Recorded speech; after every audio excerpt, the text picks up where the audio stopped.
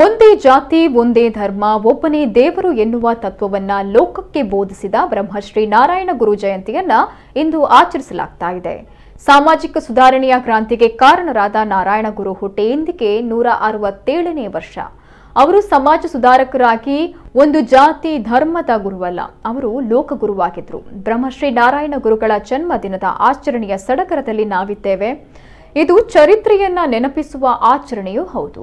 ನಾರಾಯಣ ಗುರುಗಳು ಒಂದು ಧರ್ಮದ ಒಂದು ಜಾತಿಯ ಗುರುವಲ್ಲ. ಅವರು ಬಡತನದ ಒಳಗಿರುವ ಸತ್ಯವಾಗಿದ್ರು.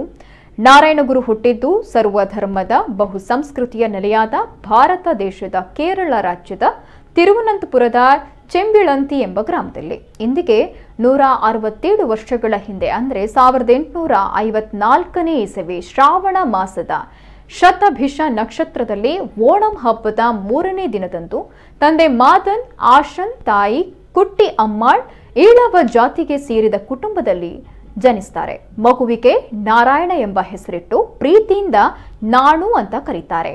ನಾಣು ಹುಟ್ಟಿದ್ದು ಬ್ರಿಟಿಷ್ ಅರಸುತ್ತಿಗೆಯ ಆಡಂಬರದ ಕಾಲದಲ್ಲಿ.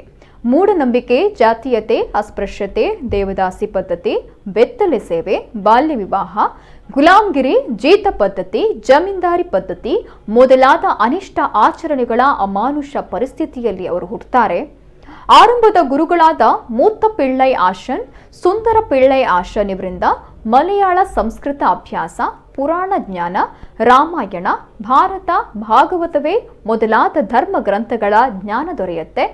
ನಾಣುವಿಗೆ ಕರುನಾಗಪಳ್ಳಿಯ ಚೆರುವನ್ನಾರ್ ಮನೆತನದ ಶ್ರೀರಾಮನ್ ಆಶ್ರನ್ ಎಂಬ ಗುರುಗಳಲ್ಲಿ ಶಿಕ್ಷಣ ದೊರೆಯುತ್ತೆ. ಊಟ ನಿದ್ರೆಗಳ ಪರಿವಿಲ್ಲದೆ ಕಲಿತ ನಾಣು ಆಧ್ಯಾತ್ಮ, ಆಯುರ್ವೇದ ಜ್ಯೋತಿಷ್ಯ ಶಾಸ್ತ್ರ ವೇದ ಉಪನಿಷತ್ತು, ಹದಿನೆಂಟು ಪುರಾಣಗಳ ಕಲಿಕೆಯೊಂದಿಗೆ ತನ್ನ ಪ್ರಯತ್ನದಲ್ಲಿ ಕಾವ್ಯ, ನಾಟಕ, ವ್ಯಾಕರಣ, ಅಲಂಕಾರ, ತರ್ಕಶಾಸ್ತ್ರ ವಿದ್ಯೆಗಳನ್ನು ಸಿದ್ಧಿಸಿ ನಾಣು ಚಟ್ಟಾಂಬಿ ಆಗಿ ಆಧ್ಯಾತ್ಮ ಗುರುವಾಗ್ತಾರೆ. ಸಮಾಜದೊಂದಿಗೆ ಬದುಕಿನ ಪಾಠ ಕಲಿತು ಬ್ರಹ್ಮಜ್ಞಾನವನ್ನ ಪಡೆದು ನಾರಾಯಣ ಗುರುವಾಗ್ತಾರೆ. ಇಂದು ನಾರಾಯಣ ಗುರುಗಳ ಜನ್ಮ ಜಯಂತಿಯನ್ನ ಸರಳವಾಗಿ ಆಚರಿಸಲಾಗ್ತಾ ಇದ್ದು, ಕುದ್ರೋಳಿ ಶ್ರೀ ಗೋಕರ್ಣ ನಾಥೇಶ್ವರ ಕ್ಷೇತ್ರದಲ್ಲಿ ವಿಶೇಷವಾಗಿ ಕಾರ್ಯಕ್ರಮವನ್ನು ಆಯೋಜಿಸಲಾಗಿತ್ತು.